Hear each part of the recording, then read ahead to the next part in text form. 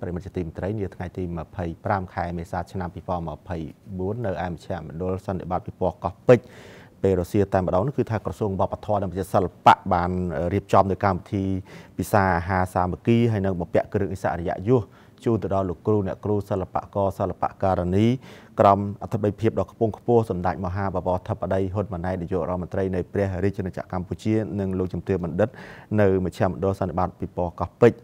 ហើយសិល្បករសិល្បករនីដែលបានអញ្ជើញចូលរួមនៅក្នុងកម្មវិធីនោះក៏បានបង្ហាញពីចំណាប់អារម្មណ៍និងថ្លែងអំណរគុណយ៉ាងជ្រាលជ្រៅជូនចំពោះរាជរដ្ឋាភិបាលកម្ពុជាដែលបានយកចិត្តទុកដាក់បាទចំពោះសិល្បៈគ្រប់ទម្រង់រហូតមកអញ្ចឹងប្រិមិត្តសូមតាមដានទស្សនាទៅនឹងការលើកឡើងជាបន្តបន្ទាប់ពីសំណាក់សិល្បករសិល្បករនីដូចតទៅមែនតើទៅក្នុងនាមជាកូនជាចៅជាប្រជាពលរដ្ឋពិតជាគោរពអរគុណនិងដឹងគុណដល់ប្រមុខថាភិបាល ទាំងសម្ដេចពុកសម្ដេចម៉ែសម្ដេចធិបតី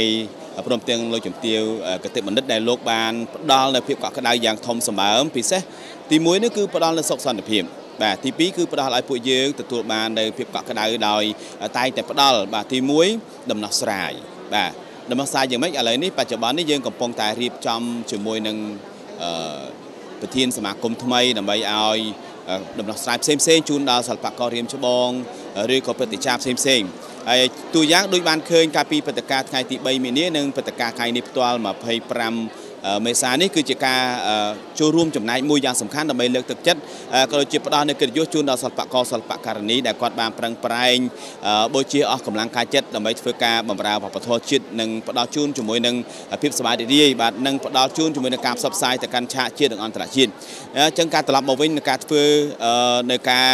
ផ្ដល់នៅព្រឹត្តិការណ៍ដ៏អស្ចារ្យបែបនេះបើក្នុងនាមសិល្បៈមនុស្សគឺពិតជារំភើបសប្បាយរីករាយនិងអរគុណដល់សម្ដេចពុកសម្ដេចម៉ែសម្ដេចបវរធិបតីព្រមទាំងលោកជំទាវកតិបណ្ឌិតដែលបានផ្ដល់នៅភាពកក់ក្ដៅនិងផ្ដល់ជាមួយនឹងមហាកិត្តិយសជូនដល់ពួកយើងថ្ងៃនេះពិតជារំភើបសប្បាយរីករាយពាក្យពេចន៍ជាច្រើនរាប់លានពាក្យមិនដឹងថានិយាយយកពាក្យណាមកឲ្យគ្រប់ទេប៉ុន្តែគាត់ដឹងថាពីបេះដូងវិញរំភើបរំភើបខ្លាំងមែនទែនរកពាក្យអ្វីមកប្រៀបធៀបស្មើបានទេបាទ ចាស់សម្រាប់បងមួយ គឺសប្បាយចិត្តខ្លាំងដោយរដ្ឋាភិបាល ហើយជាពិសេសក្រុមការដឹកនាំរបស់សម្ដេចបវរលោកបានយកចិត្តទុកដាក់ចាធ្វើយ៉ាងណាឲ្យប្រទេសកម្ពុជារបស់យើងមានការរីកចម្រើនគ្រប់វិស័យទាំងអស់ជាពិសេសលោកតែងតែមិនភ្លេចតាក់ទងទៅនឹងខាងផ្នែកសិល្បៈ ចាវិស័យវប្បធម៌សិល្បៈព្រោះថាសិល្បៈគឺជាផ្នែកមួយដ៏ធំបំផុតជួយជំរុញផ្សព្វផ្សាយដើម្បីតេទៀងទេសចរក្រៅប្រទេសដើម្បីមកទស្សនានៅក្នុងប្រទេសកម្ពុជារបស់យើងហើយថ្ងៃនេះសម្រាប់នាងខ្ញុំគឺសប្បាយចិត្តដោយសារបានជួបជាមួយនឹងវីរៈសិល្បករអ្នកខ្លះក៏3ចំនួនទៅហើយចាហើយនៅតែមានមោទនភាព នៅពេលដែលបានជួបពួកលោកទាំងអស់គ្នាលោកជាគំរូល្អល្អសម្រាប់សិល្បៈចំនួនក្រោយៗទៀតអ្វីត្បិតតែនាងខ្ញុំជាសិល្បៈខាងផ្នែកជំនាញពិធីការនីប៉ុន្តែនាងខ្ញុំនៅតែស្រឡាញ់និងទ្រទ្រង់ខាងផ្នែកវិស័យសិល្បៈខ្មែររបស់យើងទាំងទម្រង់សិល្បៈបុរាណទាំងទម្រង់សិល្បៈសម័យសម្រាប់បងចិន្តារីករាយបំផុតចាដោយយើងរស់នៅក្រោមមលុបសន្តិភាពតែមួយ ចាហើយយើងក៏សប្បាយចិត្តនៅពេលដែលលោកបានយកចិត្តទុកដាក់ដល់សិល្បកររបស់យើងគ្រប់ចំនួនការបំពាក់មេដាយការបំពាក់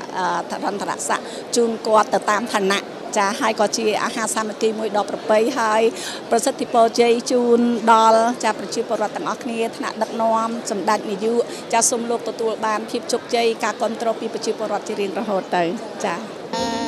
នេះខ្ញុំសប្បាយរីករាយណាស់ដោយសារដោយដោយឃើញ ថ្នាក់ដឹកនាំកម្ពុជាកម្ពុជាទាំងអស់លោកខិតខំយកចិត្តទុកដាក់អឺដូចជួយដល់សិល្បករសិល្បករនីជាពិសេសសិល្បករដែលចាស់ចាស់យរាចាដើម្បីលើកទឹកចិត្តដល់គាត់ផ្ដល់ជាមេដៃដល់គាត់ព្រមទាំងរូបនាងខ្ញុំផ្ទាល់ដែរដែលនាងខ្ញុំខិតខំជួយបំពេញកាតព្វកិច្ចជាកូនខ្មែរនិងជាប្រជាពលរដ្ឋមួយ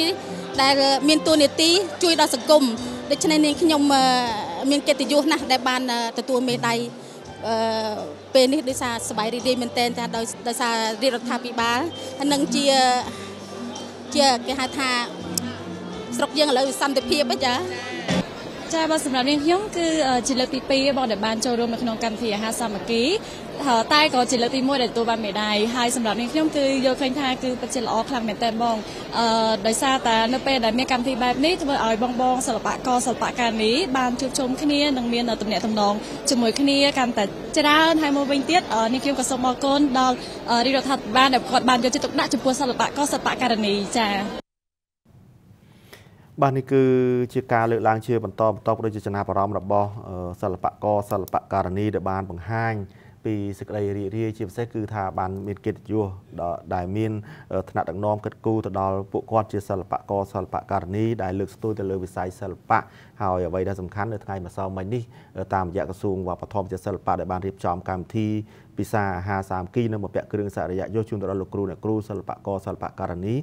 ក្រមវត្តមានដ៏ខ្ពង់ខ្ពស់របស់សម្ដេចធិបតីហ៊ុនម៉ាណែតនាយករដ្ឋមន្ត្រីនៃព្រះរាជាណាចក្រកម្ពុជា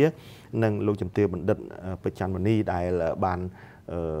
អញ្ជើញជាអធិភាពរបស់កំពង់ក្នុងការផ្ដល់បាននូវកិច្ចការពពាក់នៃគ្រឿងអិសរិយយសជូនទៅដល់ពួកគាត់នោះបាទចាជាការពិតការពីមួយសម័យនេះសម្ដេចធិបតីហ៊ុនម៉ាណែតនាយករដ្ឋមន្ត្រីដែលបានអញ្ជើញជាអធិបតីភាពដ៏ខ្ពង់ខ្ពស់នៅក្នុងពិធីសំណេះសំណាលនិងទទួលទានអាហារសាមគ្គីហើយអ្វីដែលកាន់តែពិសេសបន្ថែមទៀតដែលជាកិត្តិយសបំផុតសម្រាប់សិល្បករសិល្បករនីជាពិសេសជាពិសេសលោកគ្រូអ្នកគ្រូដែលជាចាស់ព្រឹទ្ធាចារ្យនៅក្នុងវិស័យវប្បធម៌ ទទួលបាននៅគ្រឿងអេសរិយយសសម្ដេចធិបតី